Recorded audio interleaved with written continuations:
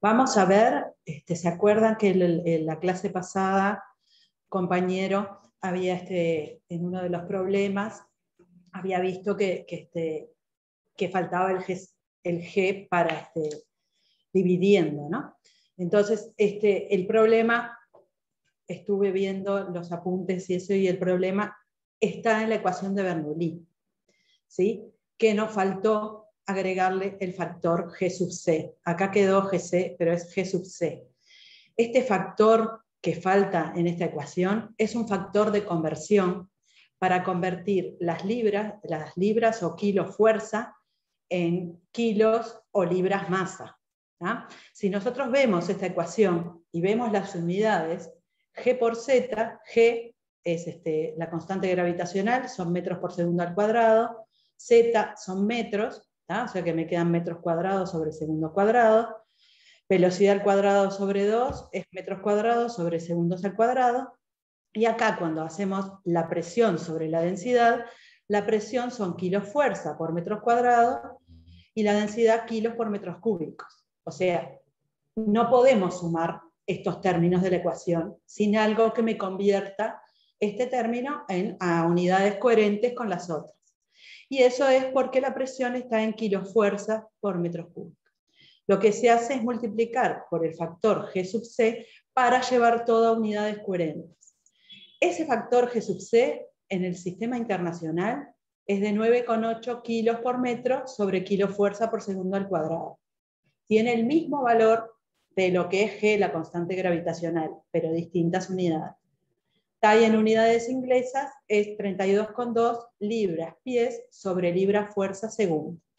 Y ahora sí, si nosotros multiplicamos este, este, este sumando por el factor G sub C, ahora sí nos quedan kilos por metro sobre kilo fuerza por segundo al cuadrado, y si vamos a hacer con el puntero, si este, perdón, con la pluma, este se va con este, este se va con este, ¿sí? Estos, estos metros se me van con este, este que está dividiendo pasa arriba, ¿sí? Y me quedan metros, este perdón, este no, no se va.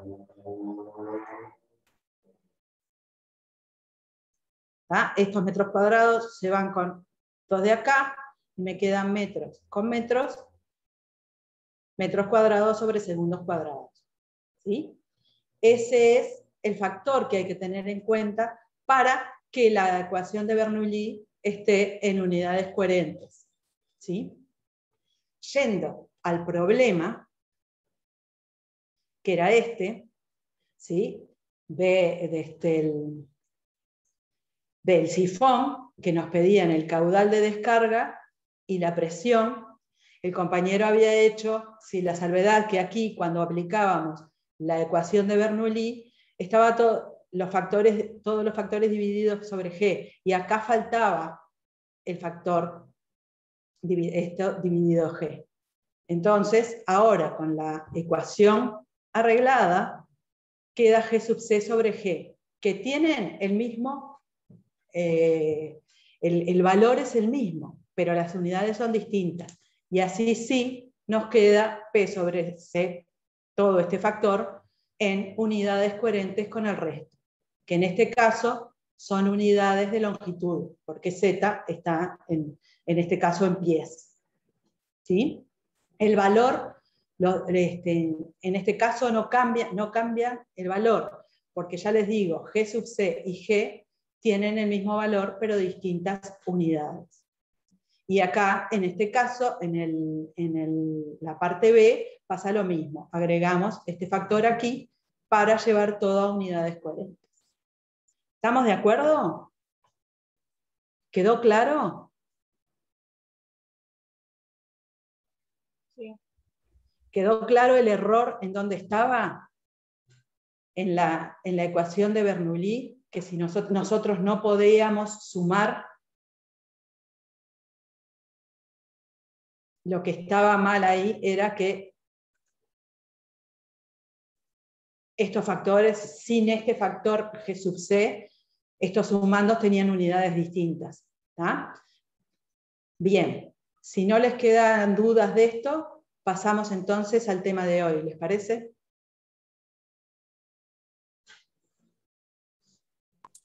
Eso después pueden, pueden subir la, ecuación arreglada. Por sí, ya, la puse, ya puse, ya ah, puse las, transparencias, cambié las transparencias, este, las que estaban, las cambié por esto ya arreglado. Ya está, ya está arreglado. Y en operaciones. buenísimo. Y ahora que vamos a empezar operaciones unitarias, había una ecuación también que le faltaba el G sub C y ya lo arreglé. No sé en qué momento si ya bajaron las transparencias, no sé, hace, hará un par de horas que, lo arreglé también. Bien, entonces vamos ahora a operaciones unitarias, que es el tema que vamos a ver. ¿sí? Lo que nosotros vamos a ver de operaciones unitarias va a ser un pantallazo muy descriptivo, ¿sí? Este, veremos la definición y la clasificación de lo que son las operaciones unitarias y las más comunes en la industria y el equipamiento utilizado para algunas de las operaciones unitarias que veremos. No vamos a ver ni dimensionamiento de equipos, ni, ecuaciones, ni nada de eso, porque solo tenemos dos este, clases para, para eso. Y nosotros eh, ya les digo, lo que vamos a ver es un panorama muy por arriba, como para si ustedes ven alguna vez en una industria o así, puedan distinguir de qué equipo y de qué proceso se trata. Pero nada más, tengan en cuenta que en, ingeniería química, en ingeniería de alimentos, muchas cosas de estas son un curso entero, como por ejemplo transferencia de calor y masa. Y acá lo vamos a ver en un ratito. ¿sí? O sea que este, va a ser muy, muy somero el asunto.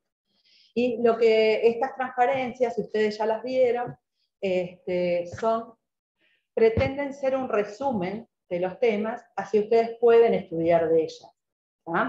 Porque este, ir a estudiar todo esto a un libro a veces se le hace medio, medio aunque obviamente que lo pueden hacer. ¿no?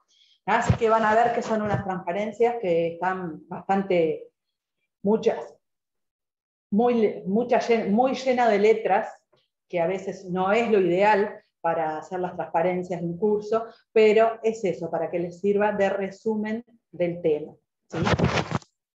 Bien, vamos a empezar este, con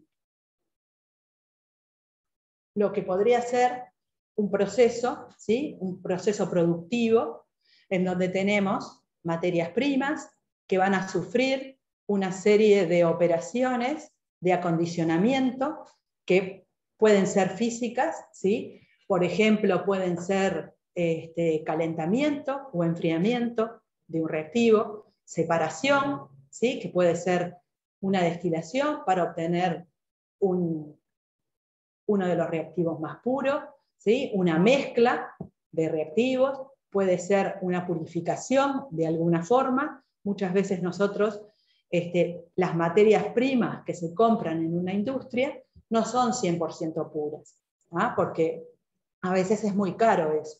Entonces lo que se hace es en este, en estas operaciones físicas de acondicionamiento es purificarlas hasta el nivel que se necesita para que pasen a las reacciones químicas. Aquí, sí propiamente dicho, hay cambios químicos en la composición de los reactivos o de las materias primas que yo estoy utilizando en este proceso. Luego de ese van a haber una etapa de operaciones físicas de separación ¿sí? de él o los productos, del producto principal puede ser, de los productos secundarios, o llevarlo a las condiciones en que yo el producto que obtengo lo pueda comercializar. ¿sí? Entonces, este, todas estas operaciones, sobre todo las físicas que se hacen en, estas etapas eh, lo que definen las operaciones unitarias es que hay un número limitado de esas operaciones que son todas similares en los distintos procesos que existen. Y el profesor Little del Instituto Tecnológico de Massachusetts, en 1915, las definía, estas operaciones unitarias, diciendo que en todo proceso químico conducido en cualquier escala puede descomponerse en una serie ordenada de lo que podríamos llamarse operaciones unitarias, como pulverización, secado, evaporación, destilación, etc. El número de estas operaciones básicas no es muy grande y generalmente unas cuantas de ellas intervienen en un proceso determinado. ¿Qué quiere decir acá? Que bueno, que nosotros en determinado proceso, si, si tenemos muchos productos, podríamos tener infinidad de procesos que llevan a esos productos. Pero en la producción de esos productos están involucradas operaciones que son similares en todos los procesos de producción. Si yo, por ejemplo, tengo que hacer una destilación para obtener uno de los productos en el estado puro que se necesita para comercializarse, toda la destilación es la misma en ese, en ese proceso que en otro proceso. Va a ser siempre el fundamento el mismo. Y un proceso este, va a contener algunas de estas operaciones. Nunca contienen un número numeroso de estas operaciones. ¿sí? No hay gran cantidad de estas operaciones involucradas en un proceso determinado. Estas operaciones se pueden clasificar ¿sí? según este, el cambio que puede hacerse ¿sí? en la materia. Y estos cambios se, ven por tres vías. Uno puede ser modificando la composición o la masa de esa materia, ¿sí? Puede ser una separación de fases, puede ser una mezcla, puede ser, si yo, por ejemplo, tengo que destilar un reactivo para obtenerlo puro o secarlo, ahí estoy haciendo una, este, un cambio de composición de esa materia prima para llevarlo a, las condiciones del proceso. Puede ser una mezcla que, este, de dos reactivos que se hace previo a la reacción, o puede ser un, este, un secado de un producto que lo compro con determinado porcentaje de humedad y después este, para el proceso lo necesito con, con otro nivel de humedad. Otra de las formas es modificando el nivel o cantidad de energía que posee un enfriamiento, evaporación, aumento de presión. Esto es muy común. Este, a veces para que una reacción química se dé, le tengo que dar una determinada cantidad de calor y muchas veces eso se hace previo a que entren al reactor. Se precalientan ¿sí? a veces los reactivos para que cuando entren al reactor estén en condiciones de reaccionar. Y después, la otra forma que hay es modificando las condiciones de cantidad de movimiento, ¿sí? aumentando o disminuyendo su velocidad o su este, dirección. Muchas veces pasa que yo tengo una reacción química, por ejemplo, que se da en el lecho de un catalizador. ¿sí? Y ahí le voy a tener que dar a los reactivos un determinado movimiento ¿sí? o una determinada velocidad para que puedan pasar por el lecho de ese catalizador ¿sí? y la reacción se pueda dar en condiciones. Y bueno, también se pueden clasificar las operaciones unitarias en función de la propiedad que se transfiere en la operación, sea la materia o masa, energía o cantidad de movimiento. Entonces vamos a tener operaciones de transferencia de materia o de transferencia de masa, por ejemplo, lo que yo les decía en el secado de un producto, ahí va a haber transferencia de masa, porque yo este, voy a estar evaporando en una, en una separación, este, también voy a tener una transferencia de masa. Después tenemos las operaciones de transferencia de energía, ¿sí? acá es en un calentamiento, en un enfriamiento, ¿sí? que se hace a través de, de un intercambiador de calor, voy a tener una transferencia de energía en forma de calor. Después también vamos a tener operaciones de transferencia simultánea de materia y energía. Por ejemplo, en una destilación.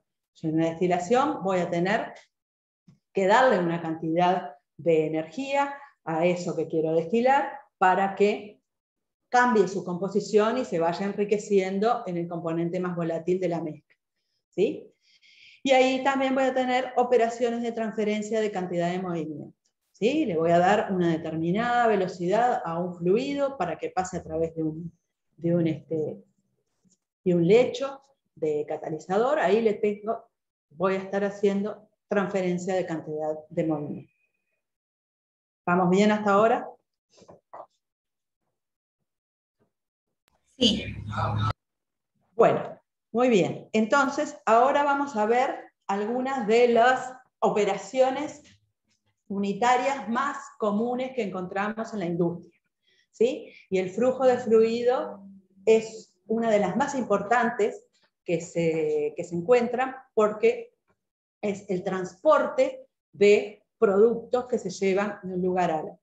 ¿Sí? Si, por ejemplo, nosotros tenemos, ¿sí? este esquemita está, está agregado ahí para, para poder explicarles, por ejemplo, si nosotros tenemos una determinada reacción química que se va a llevar a cabo en este reactor y uno de los reactivos se encuentra en un depósito, que ese depósito puede estar al lado del reactor o ese depósito puede estar en otro, en otro lado. Muchas veces los, este, los, los reactivos se guardan según eh, las condiciones que necesiten tener, no se guardan en el mismo lugar en donde está el reactor. ¿sí? Entonces, de alguna forma, más si este reactor trabaja en un sistema cerrado y en continuo, necesito tener de alguna forma que del depósito donde yo tengo unos reactivos, llevarlo hasta el reactor. ¿sí? Y para eso necesito una bomba, que es el aparato en que mueve los fluidos,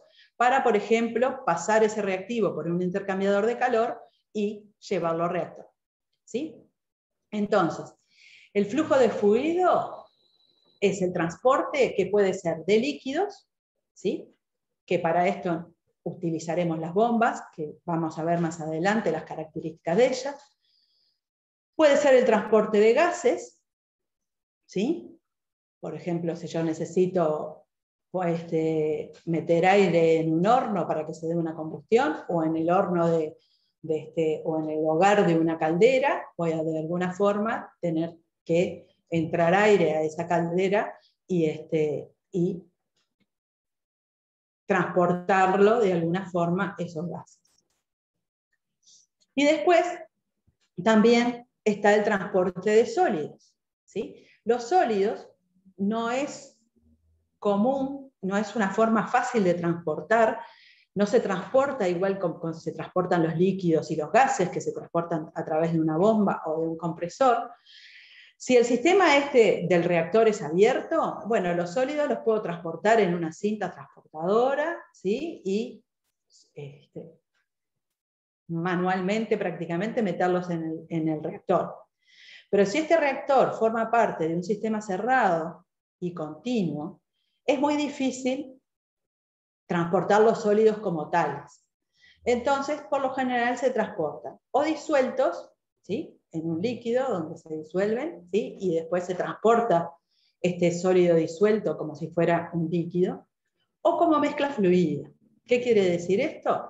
Que el sólido se pulveriza y se mezcla o con un gas o con un líquido en el que no sea soluble. Y así se, se transporta. ¿Ah? Bueno, el flujo ese de fluidos que tenemos con un caño o con un recipiente cerrado va a estar controlado por los cambios de energía del sistema, por unidad de masa. Esos cambios de energía van a ser el cambio de energía cinética, el cambio de energía potencial, eh, la diferencia de presiones y las pérdidas por fricción. Teniendo como cambio de energía cinética ya las, ecuaciones que ya conocemos, velocidad al cuadrado final menos velocidad inicial al cuadrado sobre 2, cambio de energía potencial G por la diferencia de alturas, la diferencia de presiones, la presión final menos la presión inicial. Acá también aparece el factor que les hablaba recién, G sub C, ¿sí? para llevar a todo a unidades coherentes sobre la densidad. Y después tenemos las pérdidas por fricción. Las pérdidas por fricción son muy importantes porque por lo general los caños en que nosotros utilizamos para transportar los fluidos no son lisos.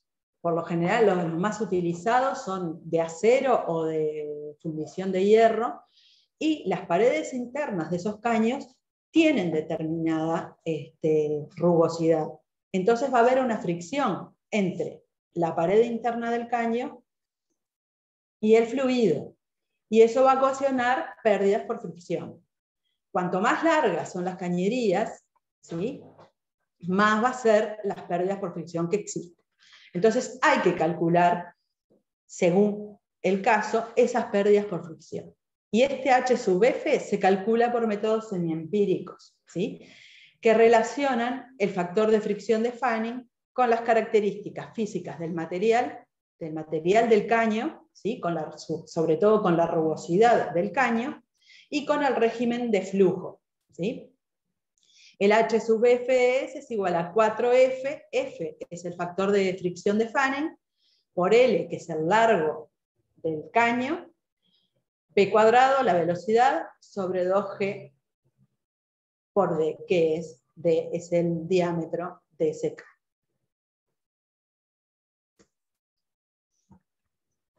Y ahora vemos que el, régimen del flujo va a estar caracterizado por el número de Reynolds. Y el número de Reynolds son las fuerzas de inercia sobre las fuerzas viscosas. No sé si esto, esto yo creo que ya en fisicoquímica lo vieron. ¿sí? Y el número de Reynolds está dado por esta expresión matemática, que es el diámetro del caño por la densidad del fluido, por la velocidad del fluido sobre la viscosidad del fluido. ¿sí? Y este número de Reynolds tiene distintos rangos. Si ese número de Reynolds es menor que 2100, el régimen de flujo es laminar. ¿Qué quiere decir eso? Si nosotros tenemos circulando por este caño un fluido, es como que el frente de ese fluido va todo parejo. Si, yo, si yo tengo en cuenta una pequeña porción de masa de este fluido, ¿sí? al correr del tiempo va a ir pareja con la otra. Va como que el frente de ese, de ese flujo corre parejo. Si el número de Reynolds está entre 2100 y 3000, es un régimen de transición. Y el número de Reynolds es mayor que 3000, el régimen es turbulento. ¿Qué quiere decir que es turbulento? Que ya no vamos a tener ese perfil como que teníamos acá que corre parejo. Acá va a haber remolinos y va a haber mezcla del, este, del fluido. por ejemplo, yo tomo una foto en este instante, ¿sí? y este, esta masa va a estar en este lugar y aquí, y esta otra porción de masa acá, al rato, en vez de seguir parejo, como seguíamos en este, en este caso, va a haber mezcla.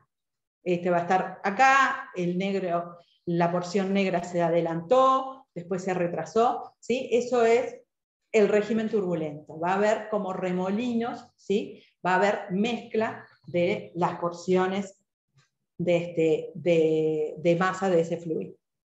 ¿Estamos de acuerdo? Este número de Reynolds hay que tener tenerlo en cuenta por, para poder sacar el factor de fricción para poder hallar las pérdidas por fricción y así poder calcular la energía que se necesita para el transporte de un fluido por un caño. ¿Sí? Y acá tenemos el diagrama de Moody, que desde acá de donde sacamos el factor de fricción de Fanning.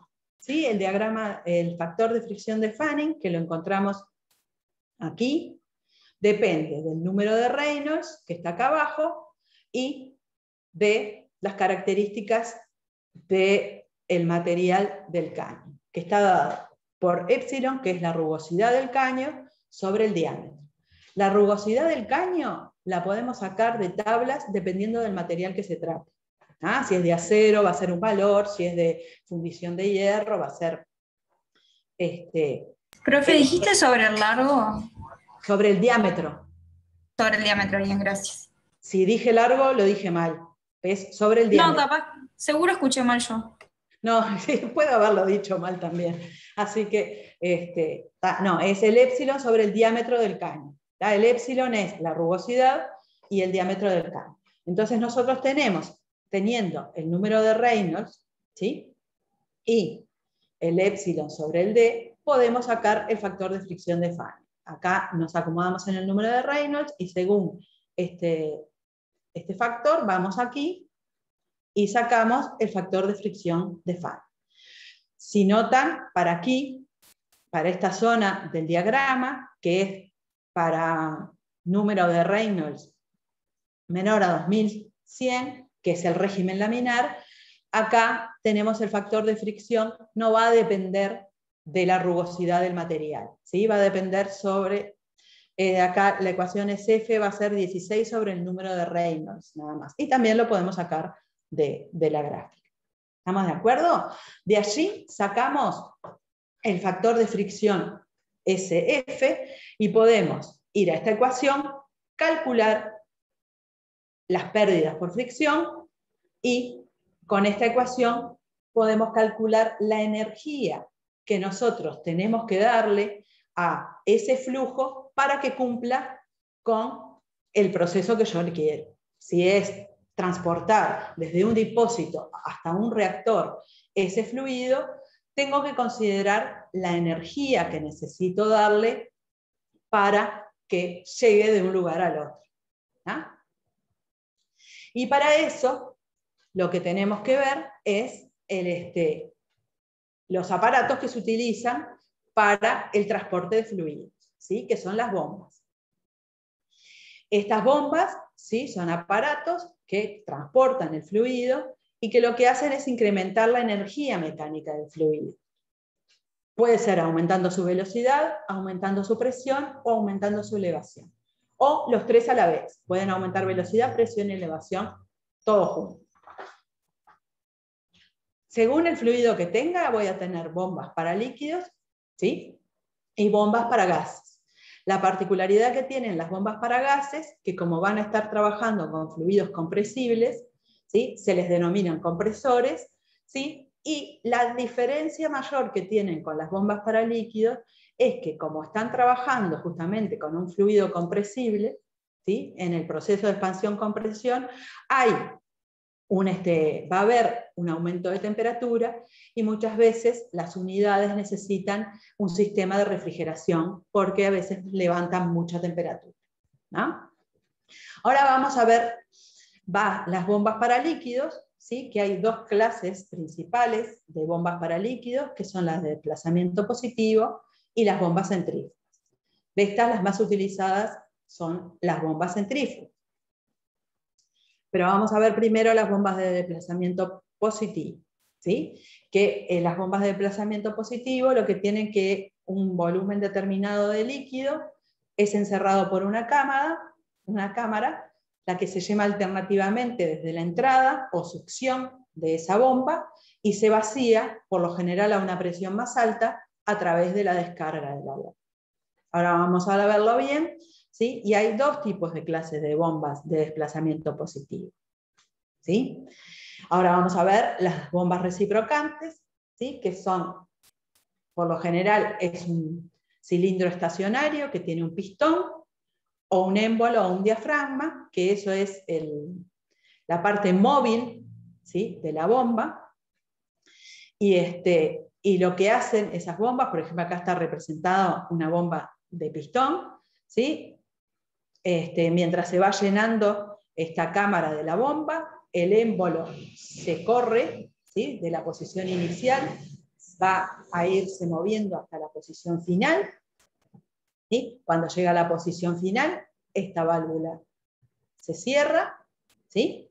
se abre la válvula de descarga y este pistón se empieza a mover de vuelta hacia la posición inicial que cuando llega acá se reinicia el ciclo de vuelta. Se carga, se mueve y así. ¿sí? Por eso dicen que las bombas de pistón desarrollan flujos pulsantes.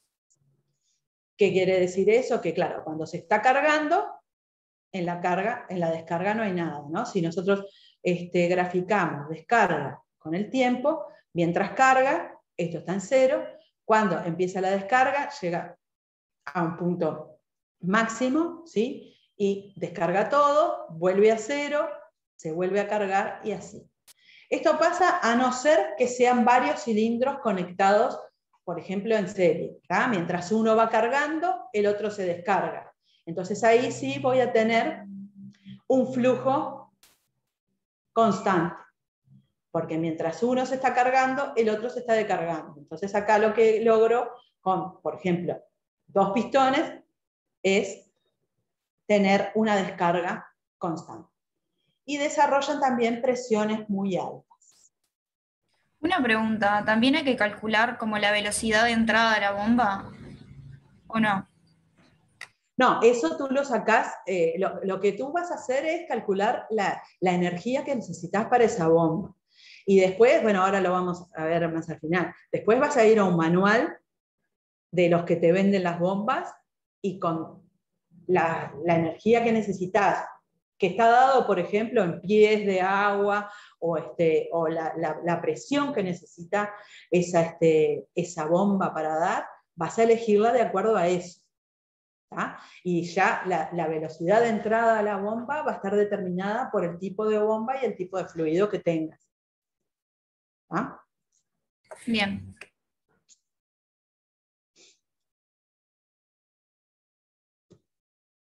Bien, acá hay un esquema de lo que es este, una bomba de diafragma, ¿sí? diafragma flexible, no se ve muy bien, pero lo que esto acá es la válvula de succión, ¿sí? Acá está la succión de la bomba, el líquido va a entrar por acá, esta válvula va a estar abierta, este es el diafragma, que es flexible, cuando empieza a entrar el líquido, esto se empuja todo, se va empujando, el líquido va empujando todo esto hasta acá, que es este, el, hasta donde llega ese diafragma, ¿sí? Todo este compartimento se llena, cuando está, cuando está lleno, esta válvula de succión se cierra y se abre esta válvula de, salida. ¿Sí? Y el diafragma lo que hace es volver a su lugar de inicio.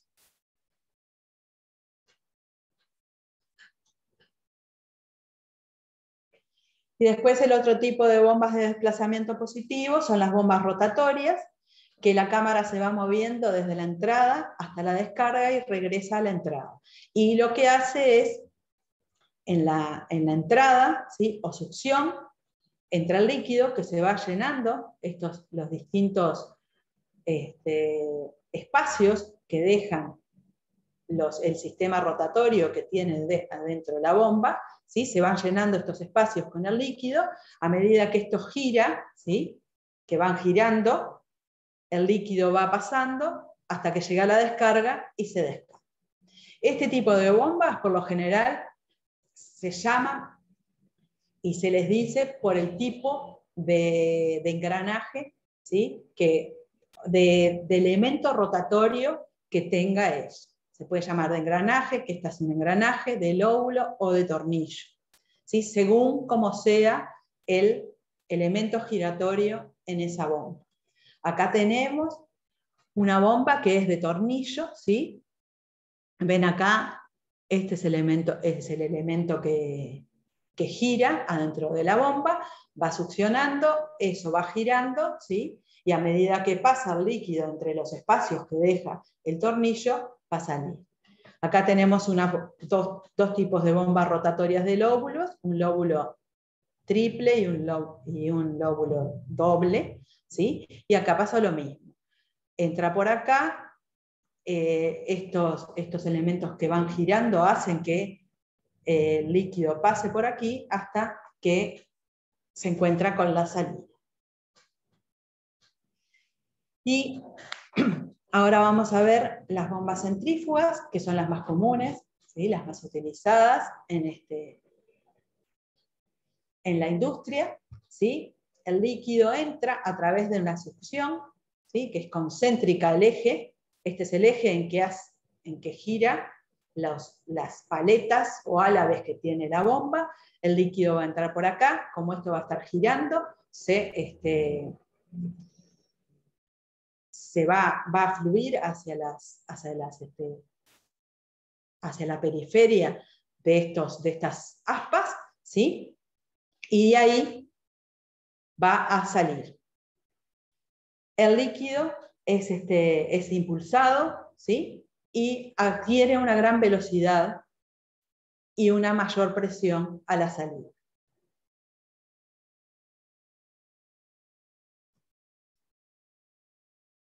Estas bombas lo que tienen de bueno que desarrollan un flujo continuo ¿sí? y presiones constantes y según el tipo de bomba tenemos grandes gamas de presiones. Y cuando se necesitan desarrollar presiones muy altas, lo que conviene hacer y que se hace es acoplar en serie varias, varias de estas bombas en un solo eje, ¿sí? y eso se le llama bomba de etapas múltiples. Acá este tipo de, de sistema desarrolla este, cargas muy grandes porque la carga total va a ser la suma de la carga de cada una de las bombas. Bien, ¿alguna duda hasta acá?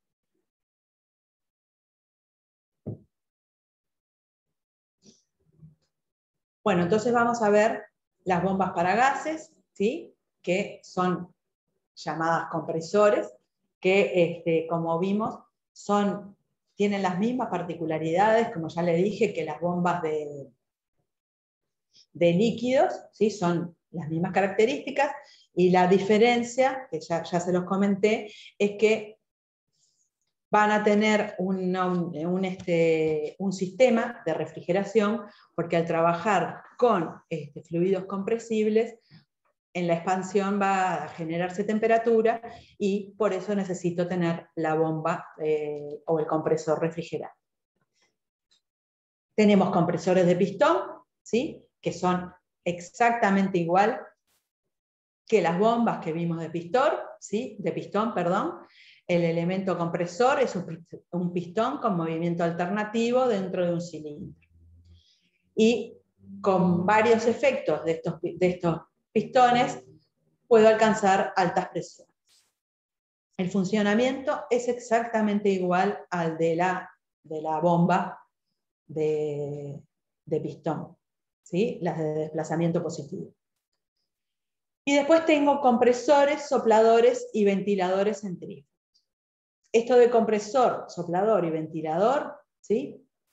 Es según la presión que desarrolla. Y proporcionan el bombeo o la acción compresora por la rotación de los álabes en el rodete, igual que la bomba centrífuga. Y los ventiladores, por lo general, desarrollan bajas presiones, los sopladores desarrollan presiones intermedias y los compresores desarrollan altas presiones. Una vez que yo tengo este,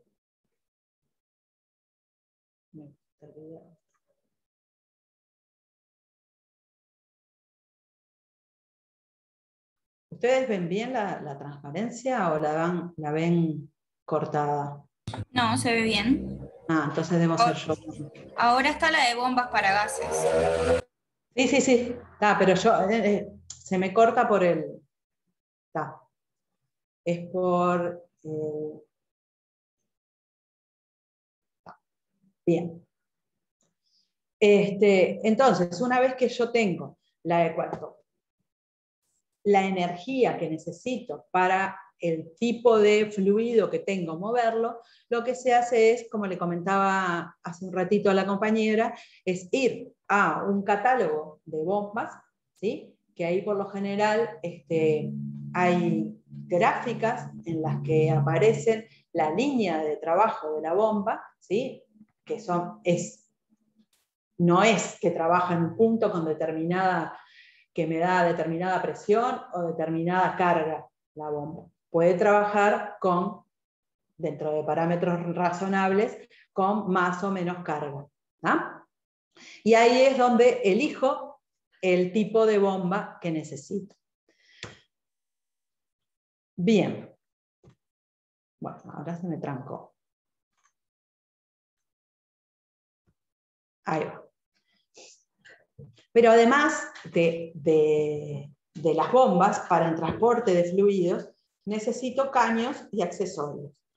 ¿sí? Y los caños, ese tipo de cosas hay que tenerlas en cuenta según sea la, instalación de, esa, de, esa, de ese servicio para, este, para cumplir con el proceso.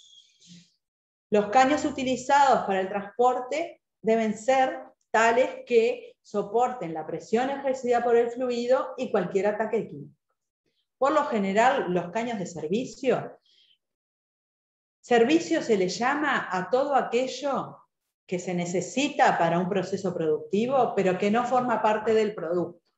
Por ejemplo, si yo tengo que calentar o enfriar, voy a necesitar o vapor de agua o agua para cumplir esos servicios pero el vapor de agua y el agua no van a estar incluidos en el, en el, producto.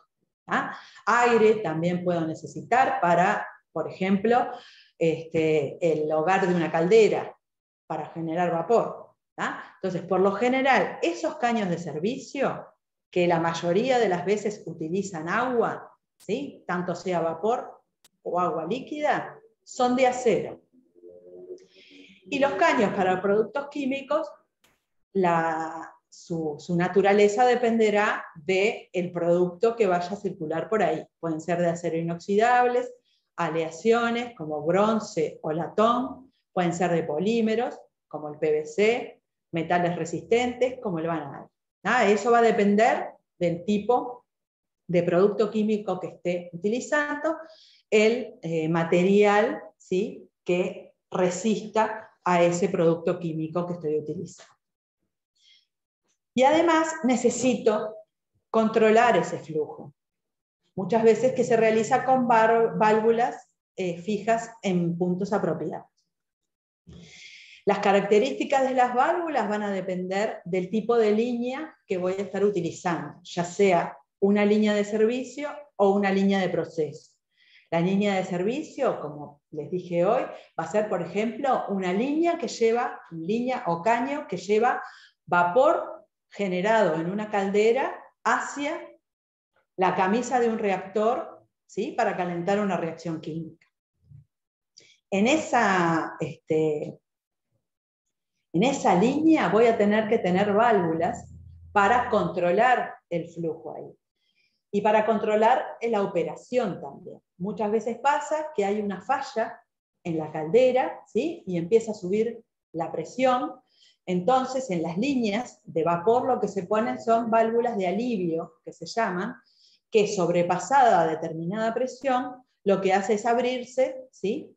esas válvulas se abren, dejan escapar vapor y así no permiten que siga aumentando este, la presión en esas cañerías que puede ocasionar que este, las cañerías estallen. También ese tipo de controles, en el caso de una, de este, de una caldera, también tiene este, controles que si hay algún desperfecto y empieza a subir la, presión por alguna cosa, hay este, válvulas de salida que también alivian la presión en la, en la caldera. Bien, ¿alguna duda hasta acá? No, por ahora no. Muy bien, seguimos entonces. Vamos entonces a ver ahora un poco de transferencia de calor, ¿sí? que junto con el transporte es una de las operaciones más importantes que vemos en la industria, ya que eh, la mayoría de las veces es necesario calentar o enfriar algún material en, los procesos. Por lo general, a veces este, tenemos una reacción química, ¿sí? donde estamos produciendo un material y sale de ese reactor con una temperatura en que lo que tenemos que enfriarlo para poder o envasarlo o este, para, para su venta. ¿sí? Y en ese momento, y ahí vamos a necesitar un enfriamiento. También podemos necesitar calentar los reactivos ¿sí? para eh, llevarlos a la temperatura adecuada para una reacción química o calentar un determinado equipo, como puede ser un reactor, un evaporador. ¿sí? Y para eso necesitamos que haya una transferencia de calor de una fuente caliente hacia lo que yo quiero este, calentar o enfriar, una fuente caliente o una fuente fría, ¿no? según el proceso que quiera hacer. Y según el tipo de proceso, la transferencia puede ser por contacto directo, ¿sí? Que el calor acá es transferido por el contacto directo entre dos fluidos miscibles y va a existir un poco de transferencia de masa. Por ejemplo, calentar un disolvente orgánico con vapor de agua o con agua líquida caliente nomás. Ah, igual como la invisibilidad este, cero, que sea eh, invisible completamente, invisible el 100% no existe, siempre va a haber un poquito de transferencia de masa. Siempre algo de una fase va a quedar en la otra. Este tipo de transferencia de masa es muy poco utilizado, este, perdón, este tipo de transferencia de calor por contacto directo es muy poco utilizado porque después requiere otra operación de separación. ¿sí? Si son dos líquidos y son invisibles, voy a tener que tener algo para separar esos líquidos y dejar el, que quería calentar de un lado y el otro del otro. Voy a tener que tener como sea una etapa de separación. Y no es muy práctico. Según los volúmenes que, se manejen, esto no es, no es una operación práctica. Pero ¿en qué caso no podrías utilizar un contacto indirecto? O sea, en último caso elegirías ese, pero ¿por qué el directo? ¿El contacto directo, cuándo lo utilizaría? ¿Me estás preguntando? Sí. Y se usa cuando tenés este, una producción de algo medio tipo artesanal y que, este, y que no sea un volumen demasiado grande. Ah, ahí va, claro. No, claro, que, que sea más, todo se reduce a lo mismo, lo que sea más barato. Siempre se reduce a eso. Lo que, si la operación más barata me va a ser la que voy a hacer. Va a ser eso. Entonces, si tú tienes una producción muy pequeña de algo y, este, y hacer la transferencia de calor por contacto directo y después tener una etapa de separación es más barato que tener un equipo de transferencia de calor este, que tiene un costo que podés, este, puede ser muy importante, ¿sí? se va a hacer por contacto directo, pero no es lo más, este, lo más común. Claro. El más común de todos es el contacto indirecto, ¿sí? que los dos fluidos están separados por una superficie, circulando a ambos lados de esa superficie. Por ejemplo, acá quise representar lo que puede ser un intercambiador de tubos concéntricos. ¿sí? En el tubo del interior está circulando uno de los dos fluidos y en el tubo de afuera está circulando otro. ¿sí? Acá la transferencia de calor se da del fluido caliente a la superficie de intercambio que va a ser la pared del caño y después al fluido frío. ¿ah? Y este tipo, que ahora vamos a ver la infinidad de, tipos que hay, de equipos de intercambio de, intercambiadores de calor, es el más común. ¿Ah? Pero tiene que saber que también puede llegar a existir en algún caso que la transferencia se dé por contacto directo. Y una pregunta, ¿tienen que ir en sentidos diferentes? Por lo general van a contracorriente, porque es la forma más efectiva del intercambio de calor. Que, la, que la corriente fría no se encuentre con la corriente más caliente. ¿Sí?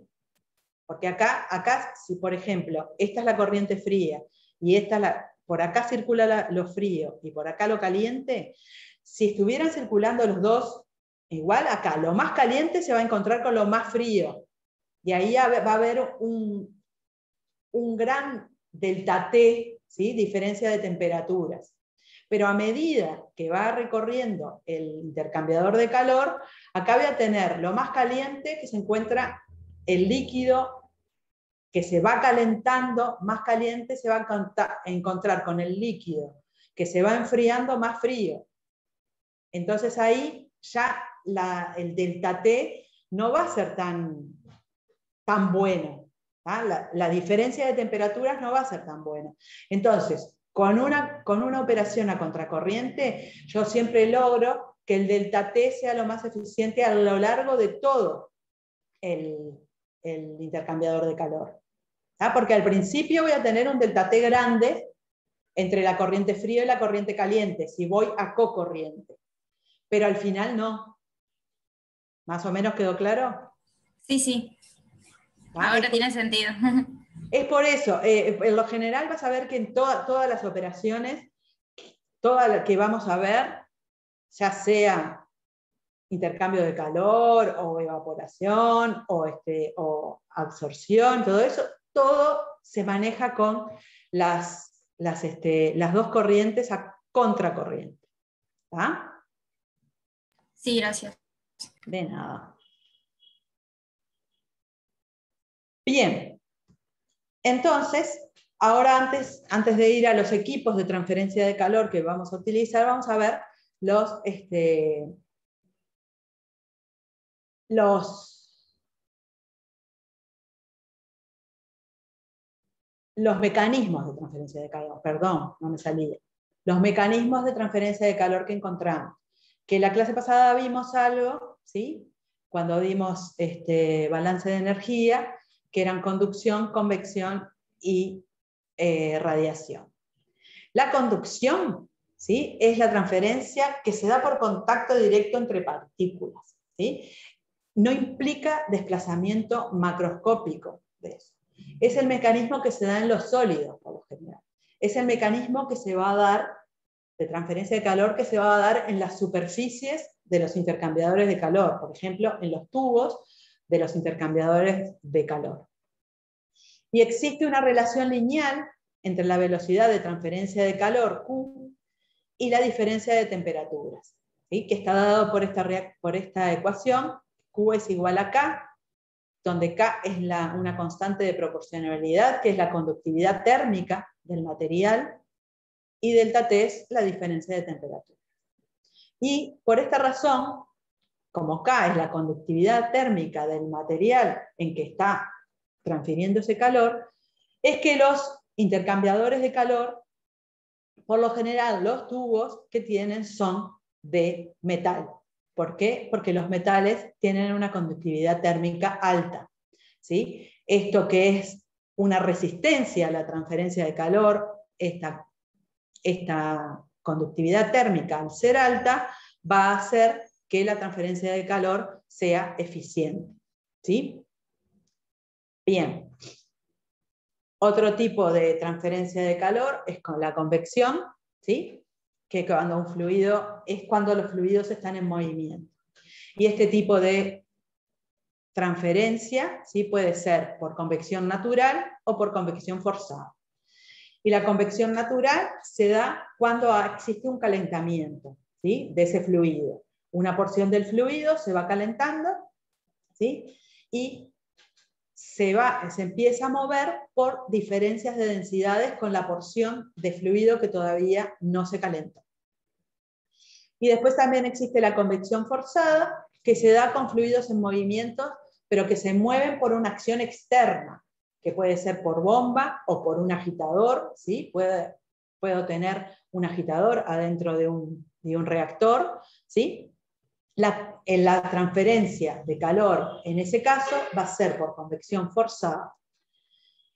En este caso, para la convección, no va a existir una relación simple que describa la transferencia, este tipo de transferencia de calor como había para la conducción. ¿sí?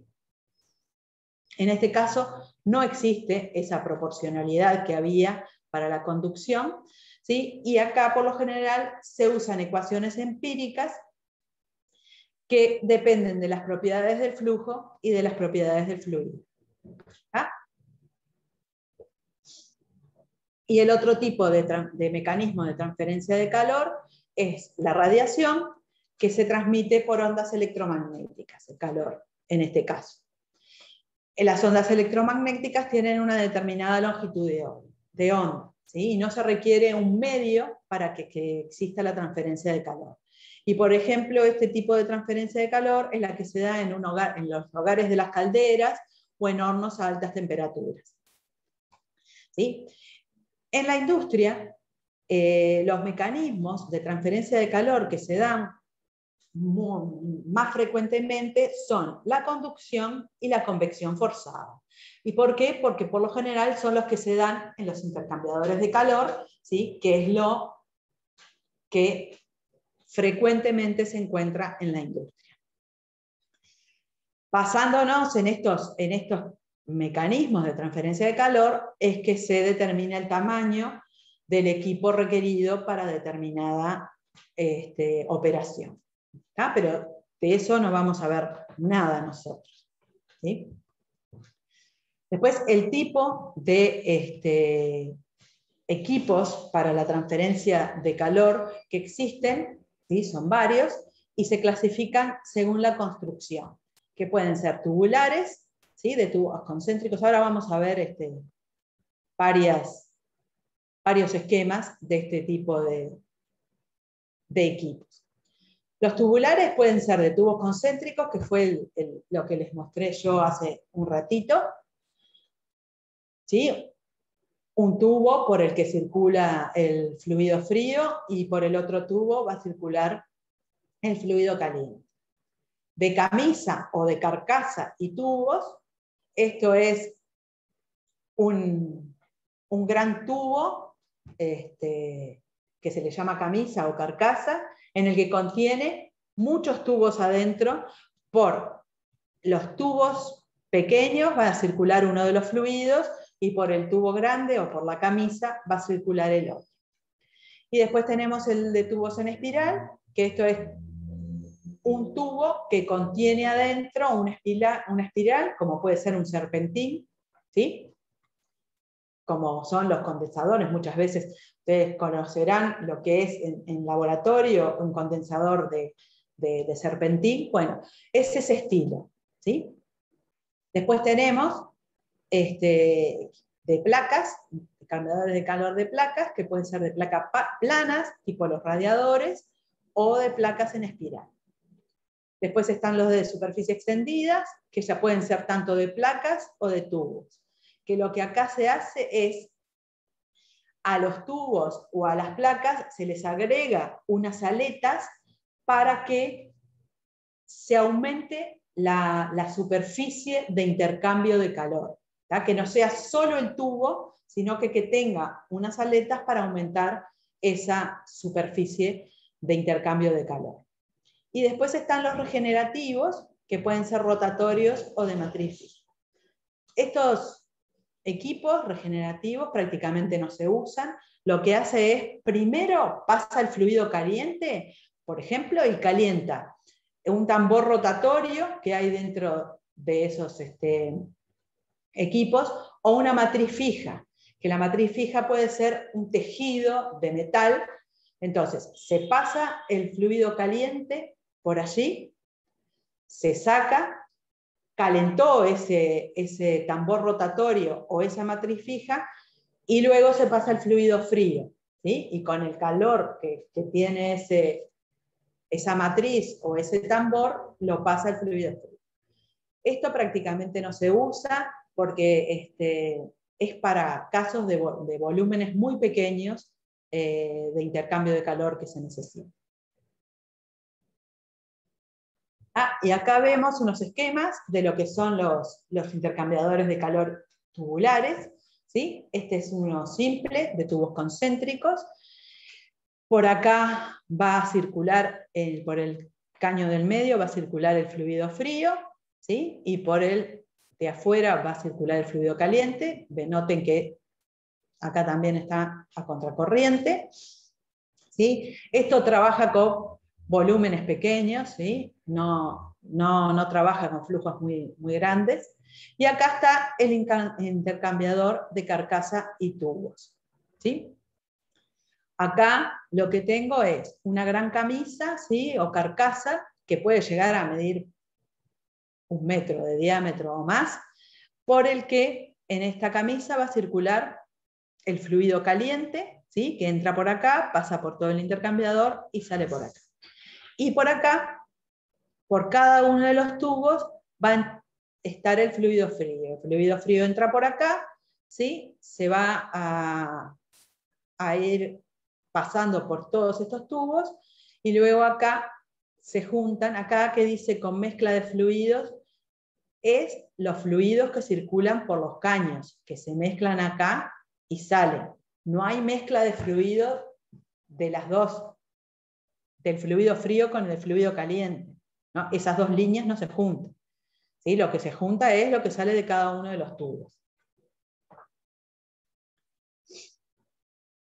Este, este intercambiador de calor maneja mucha, una carga, ¿sí? un, flujo mucho más importante de lo que puede manejar el intercambiador de tubos concéntricos.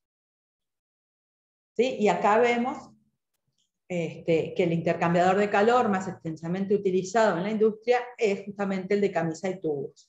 ¿sí? Acá ahí vemos también otro esquema como el que veíamos recién. Por acá entra el fluido frío, ¿sí? que va a recorrer los distintos tubos, ¿sí? luego está, la salida se mezcla acá y sale, y por la camisa va a recorrer el fluido caliente.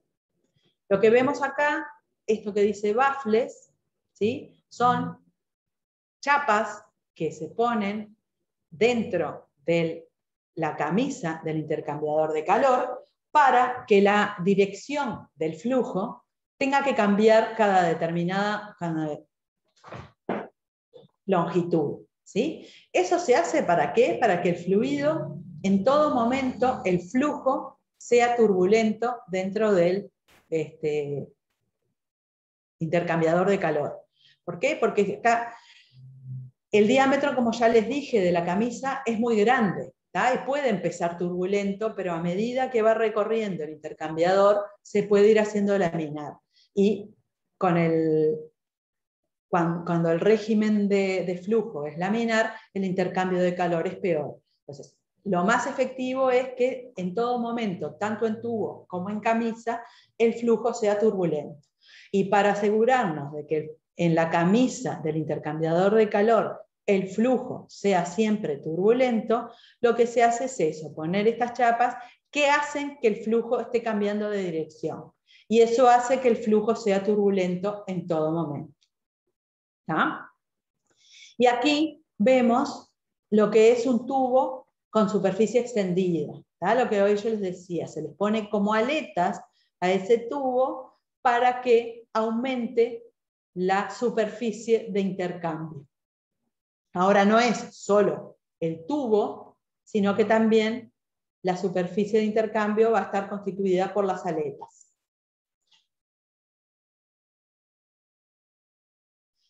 Y acá vemos ¿sí? lo que es un intercambiador de calor de dos pases. ¿Se acuerdan que acá habíamos visto que era un intercambiador de, carcasa y tubos 1-1?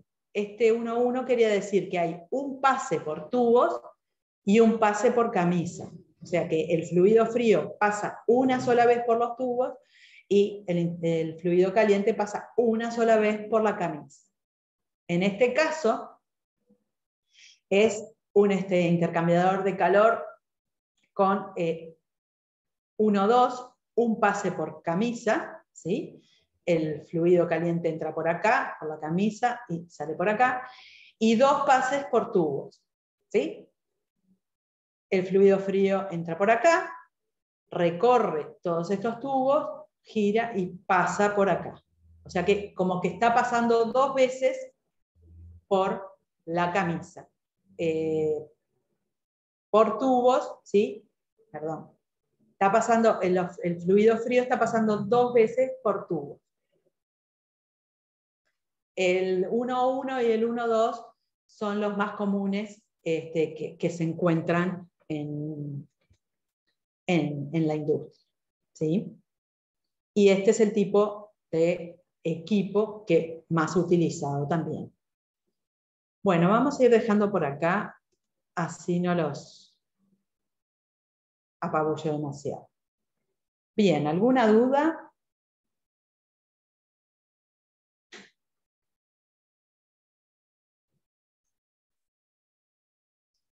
¿Dudas que tengan? No, tengo ninguna duda.